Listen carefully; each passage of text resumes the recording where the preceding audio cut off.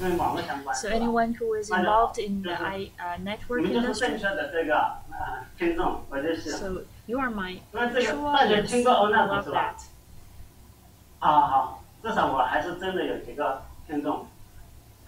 我叫杨邦文啊，就是我们 so, 我是来自华为的，然后华为本身就是从开始就来介入这个 And our company has been involved with ONAP since the very beginning, and today I want to give you an introduction of ONAP, what it is, and why we need it. So this is my content. Why do we need ONAP? For people who do the telecom industry, and you do network maintenance, you will need ONAP. I will also introduce the architecture and the principles backed by ONAP. So if you have any questions, please just raise your hand anytime you want. So if there's a question, I will give you a book as a present because you're truly interested in it.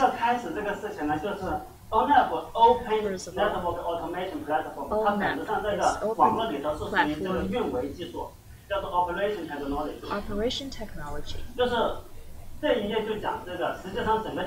this page uh, is about this technology. For a long time, it developed very slowly. Huawei and also other device providers in the past, we have developed very fast in terms of uh, 1G, 2G, 3G, 4G. But for OG, to start a business, when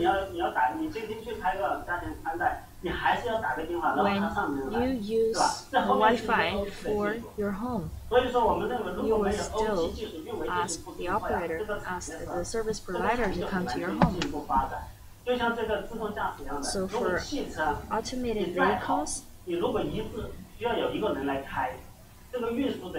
no matter how good the car is, you will still need someone to drive it, right? But to make a breakthrough, you will need to develop the operational technology. This is the logic behind it. And then, in the past, we used manual forces and also the process methodologies, but the problems and pressures have become more and more and complexity. Because the scale will be enlarged by tens or even several tens of um, times or even 100 times and also cost. So now we spend a lot of cost on this aspect. And also in the future, there will be market demands driving the development of OT. They will be very fast. in the real-time response, and the traditional manual way will be outdated. So the telecom industry need a revolution through development of technology. How do we solve it? In the past, the overall uh, telecom industry was a top-down process. So there's the OSS uh, integration, and then there was uh, network design. So as a result, the network was fixed and the service was fixed based on the network design. So in the past, the home Wi-Fi was totally based on a fixed model. And uh, the model was established in the first place, and after that, people will use these models. It's a top-down process. But for large-scale service, with very similar features, it is possible, but in the future there will be customized services which will be differentiated based on different demands. So we introduced the concept of OS, operational system. So there will be a uh, resource, unified resource. In the combination of resource and service, the combination of resource and the applications will be the final solution in the future. And then the next step would be the matching of device. So that's a total different workflow. So the ONAP, it's a uh, operation system for um, operators. For example, for Linux, it's uh, resource operation system within a small box. Then the cloud, it's an operational system within a very big database. And then ONAP, uh, it's, a, it's the system covering thousands of operating uh, spots all over the country. So why do we use the open source style? The past telecom industry was quite closed up, and each operator has their own factories. So many clients will resort to different operators. And these systems are closed up and are not connected to each other. But in the future, we want to develop a unified platform like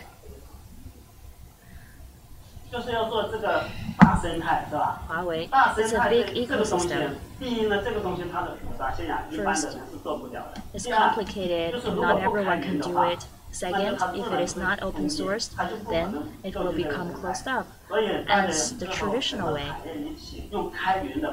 So that's why we use this ONAP, which is an open source platform a unified platform connecting different operation operators and clients like today's computer we do plug and play.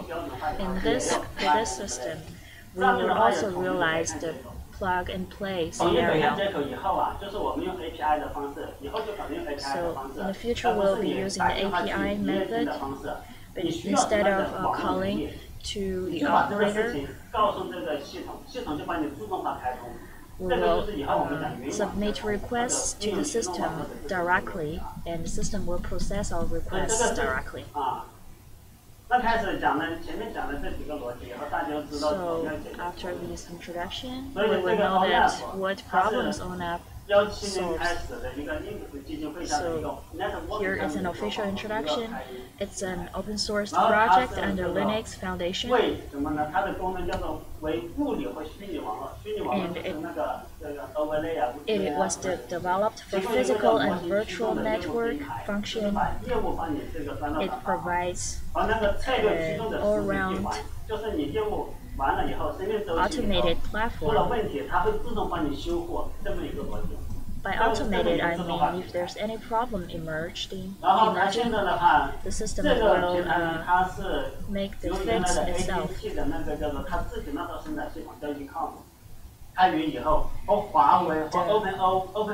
the original version was open sourced and combine, combine the OpenO project and the OpenECOMP project.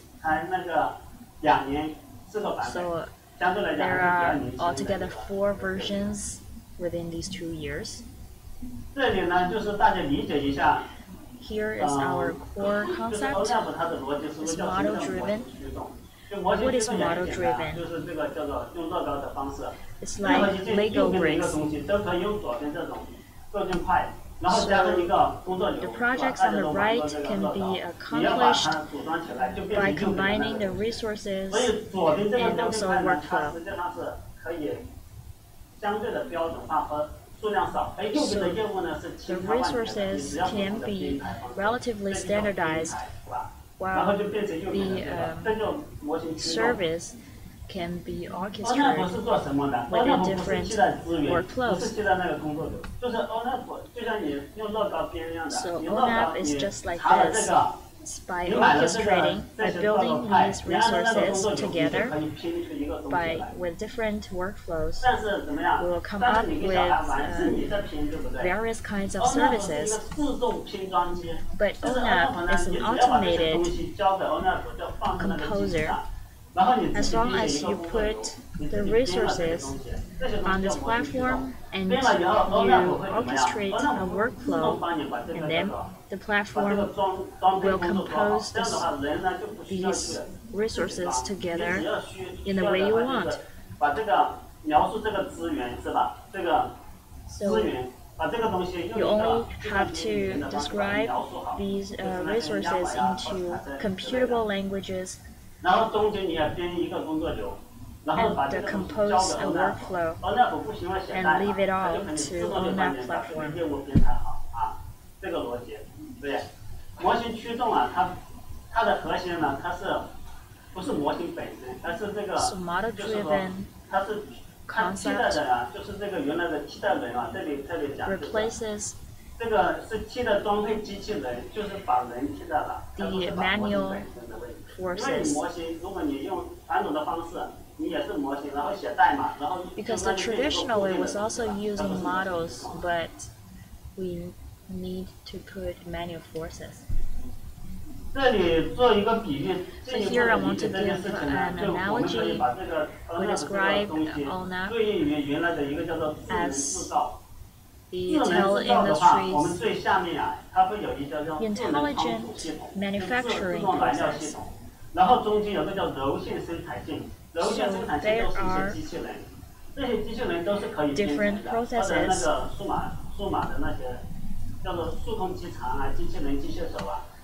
So there are machines doing all the robotics doing working on the production line.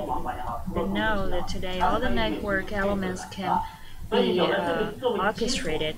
同样的，那边对应的网络呀，and today, all the softwares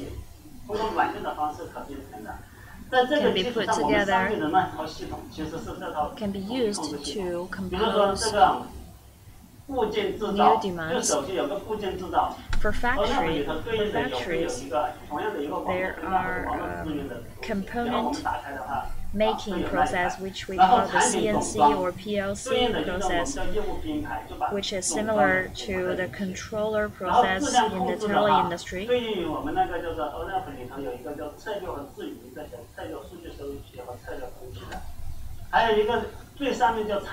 And also the product, the CIM, and also monitoring process is similar to orchestrator and big data and analytics. Well, the virtual car's C A D process is similar to VNF and Design Studio. So as long as you put all the uh, resource together and you compose a workflow, then everything else will be automated.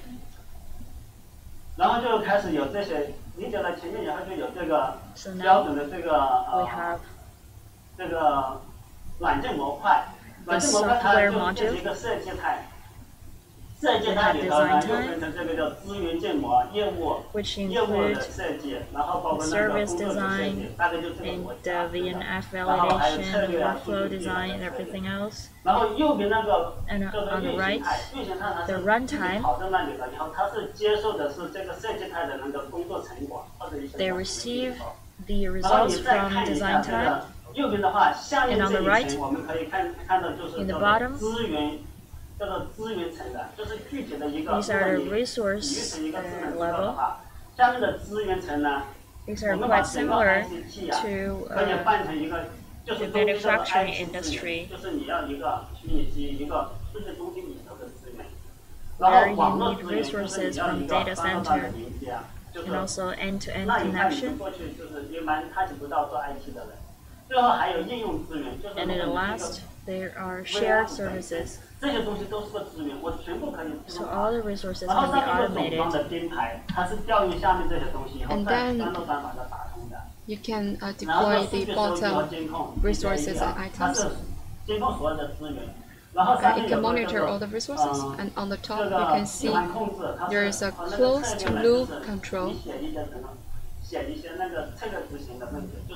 It can have some uh, uh strategy implementation and monitor the implementation.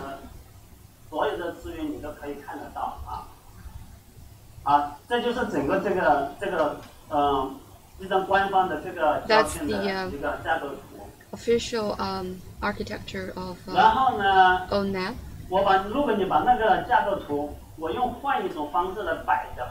But if we rearrange this architecture, it's more like automation workflow. Network itself does not need to be changed.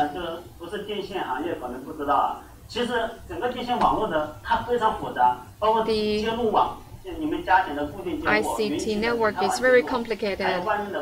Whether it's Wi Fi, it's Ethernet, um, the vendors will provide the controller.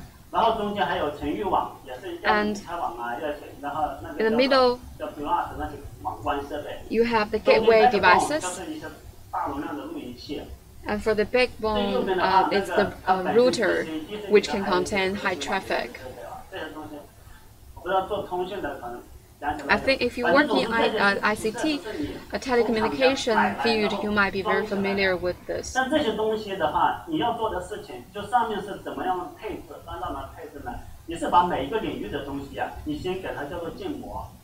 First, you build the model, for example, a router or an IP network. It can be used as VPN or layer 1 VPN, level 2 VPN, etc. You can convert this into a model.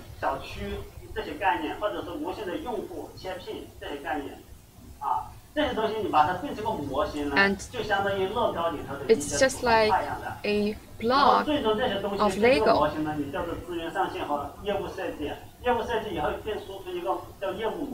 Here you have the business design, business model, and then you convert them into a product. For example, it might be like enterprise connectivity product, which you can subscribe. At the very beginning, you might use API. Once they receive the request, they will trigger the service platform. And then it will have different kind of resources. Like you need a VM, you need calculation. And then they can pull out the controller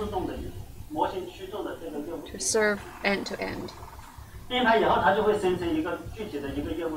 then uh, you will have the specific service target and it will generate a lot of data. And then we use big data or data search method to collect all those data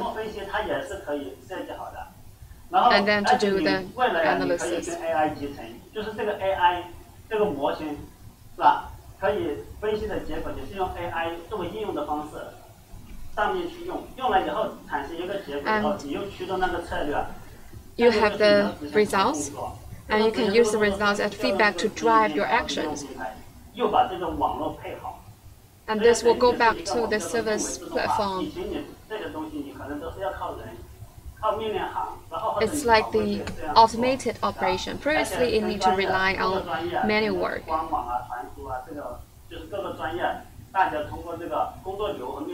Um, people manually drive these actions.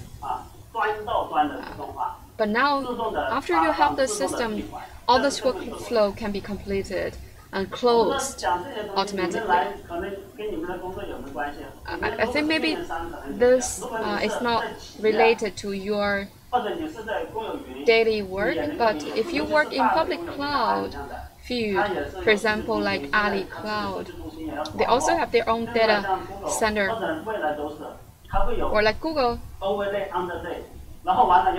they have overlay, underlay, and then they need to scale it, and then they will be uh, become bigger and bigger. The more complicated it is, then it will be more useful.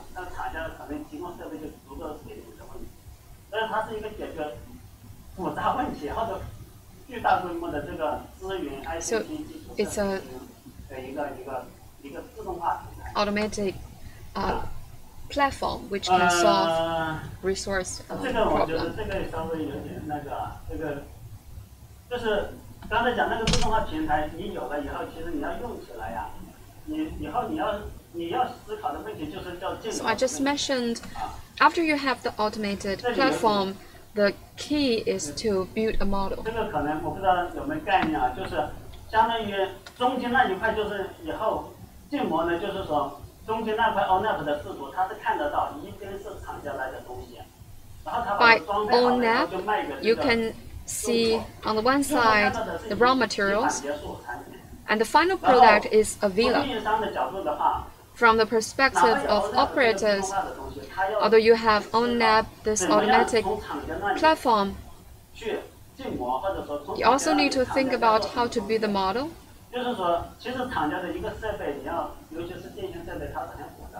Sometimes the devices, they're quite complicated. And then after you have the initial model, you build the windows, you make the doors step by step. But still you need to build your own model. You need the vendor system to do the foundation or the framework, and then you can build the house.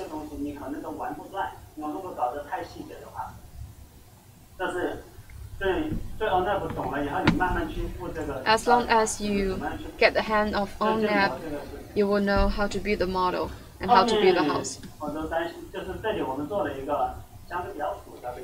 And here it looks quite complicated. We're talking about end-to-end and also globalized service. For example, China Mobile is working with Vodafone. Now, um, overlay or SD-WAN, uh, SD-WAN is very popular, but below it or behind it, you need to integrate the IP.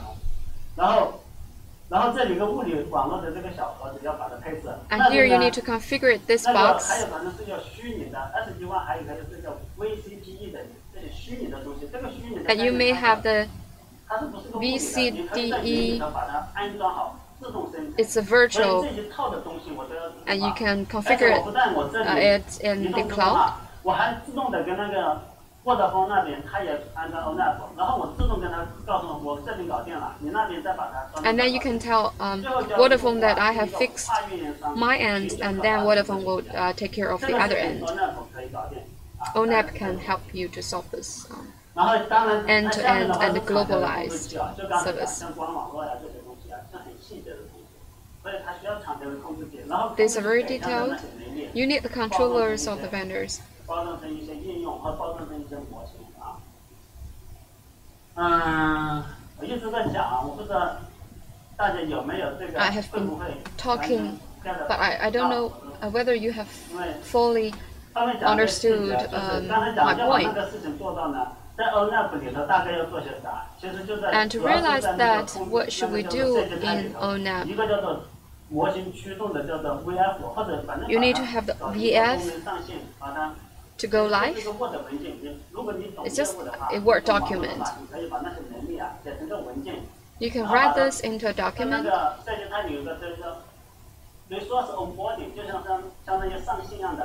And then you uh, have the resource on board. Then you design the business. You arrange all this logic and workflows. 先哪个把它弄好，先配谁，后配谁，然后怎么样的，这个叫做工作流。工作流包括控制流都是一样的。And also control flow. As well as the specific details. 控制流，那个写的机械。就这里的还有那个策略分析，就这些东西呢，就是你不需要很懂那个，像真正的一个开发者去。You don't need to know, for example, Java or C language specifically, but you need to know the network. You need to have some development capabilities, very high development uh, capabilities. You know how to establish this network. And then you give all this to the operator. And then it will run this automatically. 你可以想象，就像中国移动、中国电信这些，它现在是需要几十万人来做的事情。Just like China Mobile or China Unicom, now they need like a lot of people to do this. But after you have uh, ONAP and you have this automated platform, then you just need very small team to maintain this.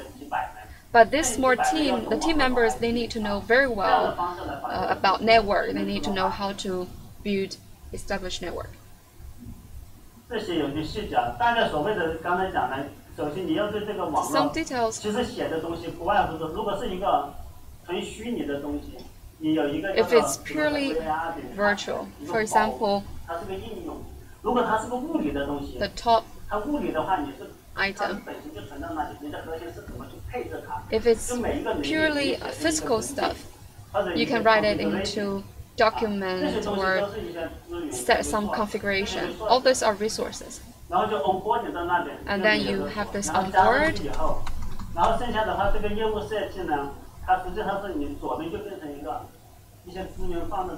And then you put your resources on the left. You link.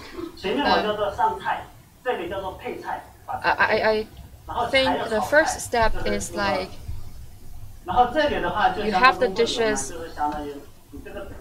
onto the table. You have the ingredients to arrange, rearrange these ingredients, vegetables, for example, and then you have to fry your dishes like vegetables or meat, and then I need to you need to think about, for example, how to fry vegetables, how to fry meat, how to fry eggs. And then you can write some strategy documents and then download. All those are called engine.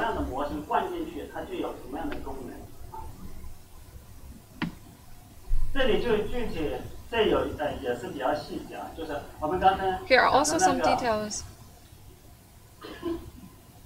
这是 VPN 这个。like CCVPN 的话，你看，其实抽象以后，中间比如说抽象以后，都都有一些东西啊，就是这些对象，首先是那个业务，比如说一个业务，从用户的角度就是业务，然后两个站点，and then you you have two stations. And below the business, you have resource, for example. For example, for SD-WAN, you have a bank board, SDN connecting SODN. And then you reassemble it.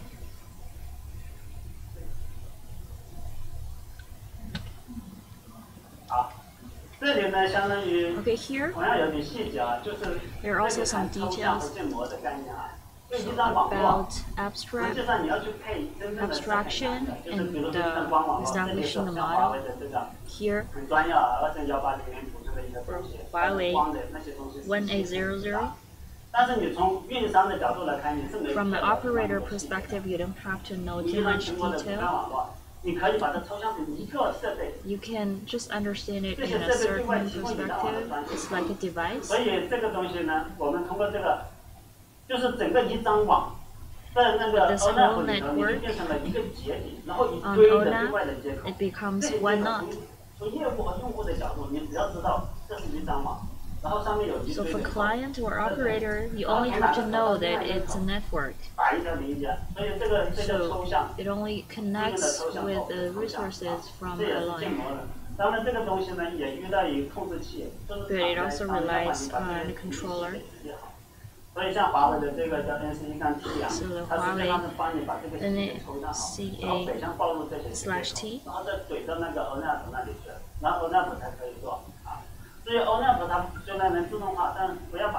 Although ONAP is can be automated, but it cannot be a device controller.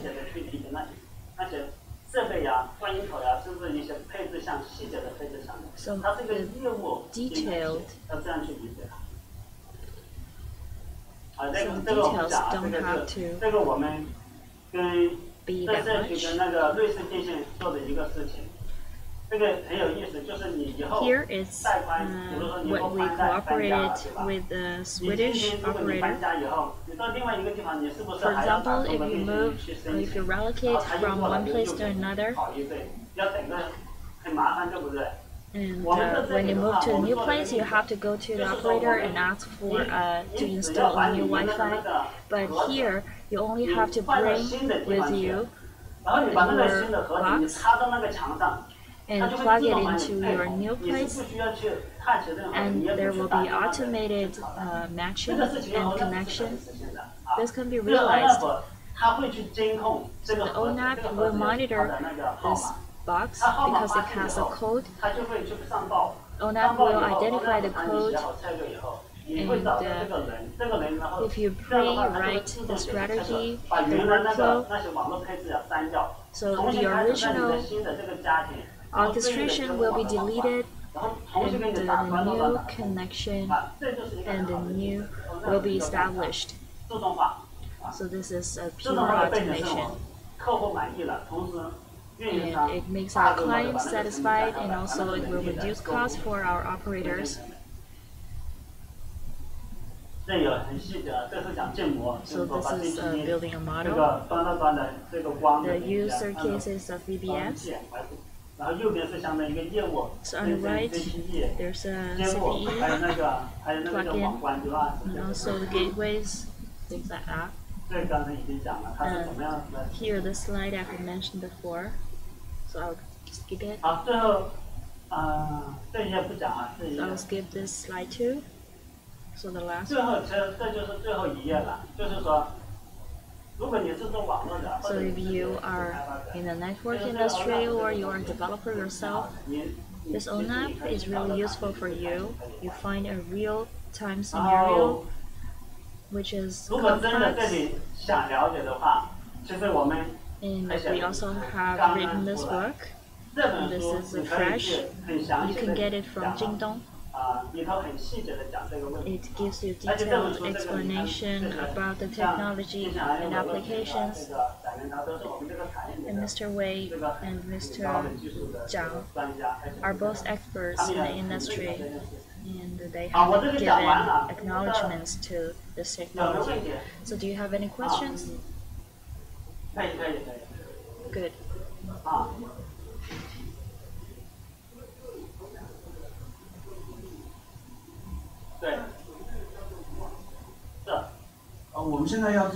So if you want to do uh, the synchronization of cloud and network, I was in the telecom industry before, so we've encountered the integration of CT and IT problems. And because they have different user groups. For example, IT user groups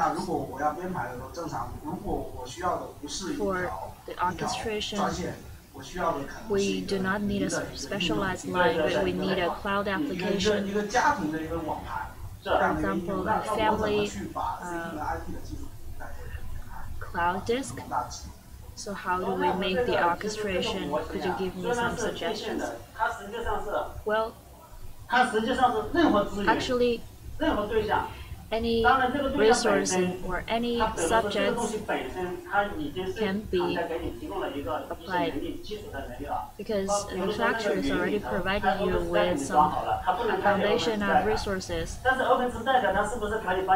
OpenStack can uh, automatically help you to connect with virtual uh, device.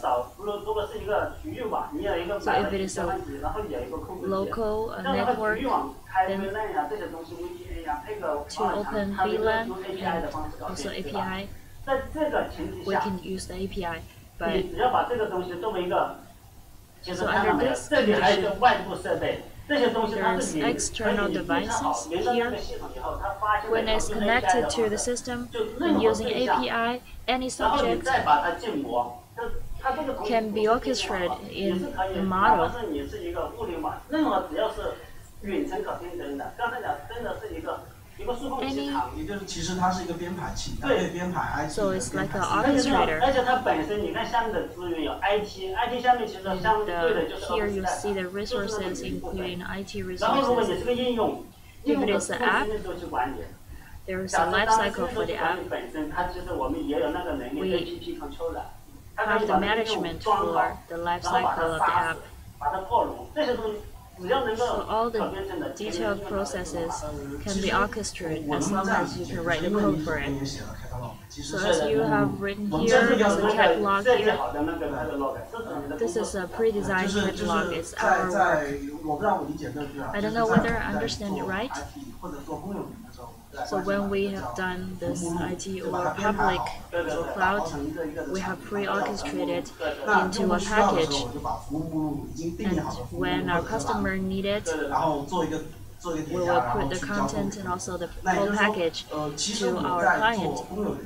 But when making the public cloud, so I based on the uh, controller of the public cloud 就是我我现在遇到一个问题，就是在我们的这个，其实我可以认为它算是我们 CT 这一侧的一个云管啊。那 CT 侧的云管，那 IT 的云管，我需要用户提供的一个资源。那那我怎么去协同管？因为它两边的协议会不会？Or my client, will there be a difference in the practical side level? No, there is not. So all these are belong to the IT arena. 那那比如说我我用 Terraform 可以跟咱们这个 ONAP 这些来推荐。So ONAP is Terraform able to connect to uh, ONAP. 啊，那可。你这种任何应用都是第三方系统，它应该都是通过很多种的 third-party system，对，或者对你只要是 as long as 就任何应用都可以啊。 So any application will do. So we're running out of time. This book is for you as a present.